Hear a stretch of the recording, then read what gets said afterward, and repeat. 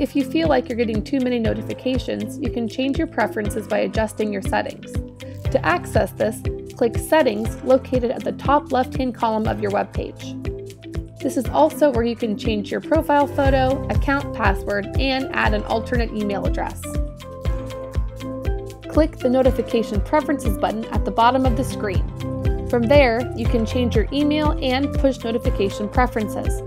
Be sure to press the Update Settings button once you are satisfied with your changes in order to save them. If you have any questions at all, please do not hesitate to contact us at support at unitu.co.uk.